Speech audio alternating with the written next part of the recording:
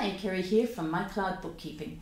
Sometimes you'll receive multiple payments from your customers, which will all make up one bank deposit. Uh, perhaps you're still getting some checks and you're photographing them, or maybe you're still taking them to the bank. And when you see that one amount on the bank feed, you're not too sure exactly how to match it to those individual payments. And there are a couple of ways to do that. So make sure you watch through to see both of them.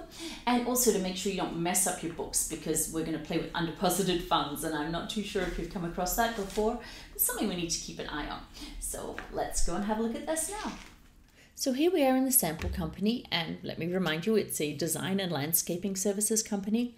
One of the guys has just come back from doing some work from, for Amy, and he's brought you a check for $220. So we're going to record this. We'll pop in here, receive payment, and we'll see what Amy owes us. And sure enough, there's an amount here for $220. So we're going to record the payment on the date, which at for the point of this exercise is um, April 15, 2022. And instead of putting the checking, because we're not actually going to the checking account right now, we're going to pop this to undeposited funds. And we're going to put, put this check in the drawer with our deposit book for the next time that we go to the bank.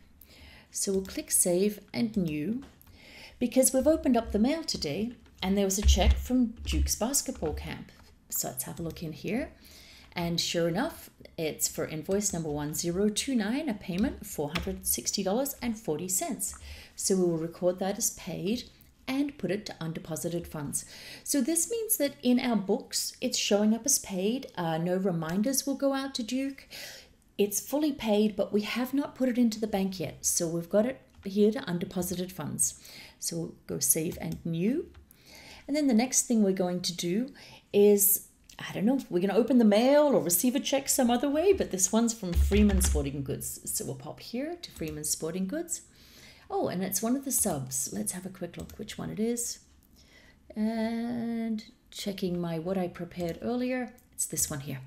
226.75 invoice number 1030. Once again, this is not going right into the bank yet. I'm going to pop it to undeposited funds and save a new. Someone just went to pick up lunch from Sushi by Katsuyuki. And it turns out that they owe us quite a bit of money, but they've made one of their $80 payments, so we're quite excited about that. And it is for the oldest invoice, number 1017. So we will put that with the other checks to go to the bank. And then we have another one, one more left from Travis.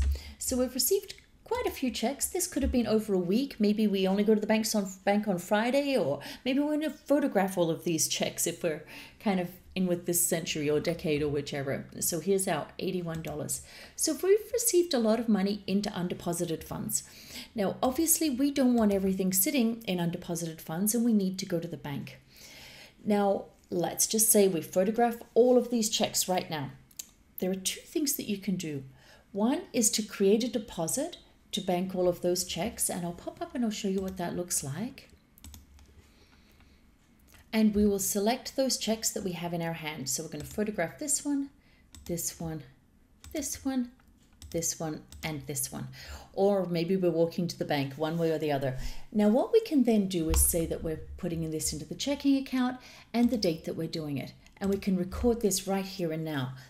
I'm not going to do that. I'm going to show you another way as well. So we're going to X out of here. Let's just pop out of this. We'll leave without saving and we're going to go to our bank feed. So let's have a look at banking. And in comes this $868.15. Now, it's a random number. It's appeared on the bank feed and we don't really know what to do with it. So we're going to go here and click find match. And we have the option for a whole myriad of different things here. And we're going to go through and we're going to select these ones that we know that we just did.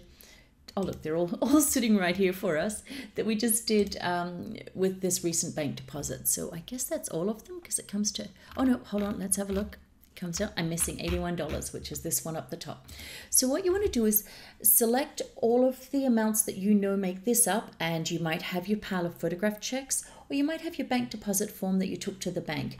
But one way or the other, you select the payments that you've recorded to undeposited funds, and make sure that the total amount agrees. Now I'm going to get out of this again. I'm going to pop back and show you what would have happened if you'd completed that other deposit.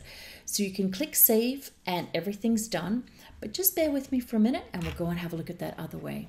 So let's close out of here. MS will show you how to do that deposit again. Let's go here, bank deposit. And let's just look and see what does happen if you do this extra step. So you, it's a, a, extra step, but you'll see how much easier it makes your life. So we'll pop down here. We will save and close. Get my cursor back. And when we come to the bank feed here, it's matched it automatically. So eh, often I find that's a good idea because when you've got that stack of checks in front of you, you and you create the deposit, you're less likely to make a mistake compared to when you go to find the match and you have a list of a bunch of different transactions and you're trying to remember which one, or you've got a bundle of checks and you don't know which ones you deposited. So you can simply match here. And what we've done is we've recorded the payments for those invoices. We've been able to match it easily to the bank feed. So everything's paid. So here we are in undeposited funds, and you can see that when we received the payments into undeposited funds, they came through here. We've got all of these different amounts showing up. And then when we created the deposit, it removed them from undeposited funds. I was expecting to see one line item for the entire amount coming out. Let's just have a quick look and see what this looks like. Nope, it's come out individually, which was I was expecting to see the 868.15 coming out of Swan, but just as long as we've got this increase and the decrease happening, because we want to make sure that undeposited funds does not become this ever increasing uh, account because you can see it's cleared to zero here. Then we received some money that we're then going to put into our bank. And this is how undeposited funds should should work for you so that uh, you can record things and then match them up to the bank when you do that deposit. So hopefully that worked. And if you keep an eye on your balance sheet on a regular basis, I do have a month end checklist that's largely going through that balance sheet then you know that your undeposited funds aren't getting out of control. You'll also know that your accounts receivable have, are correct and you've been recording the payments against the customer the customer invoices correctly and uh, it's it's the best way to make sure that your records are accurate. So download those resources and let me know if there's anything else you want to know and if this video was useful click like subscribe to my channel and I'll see you again soon. Cheers.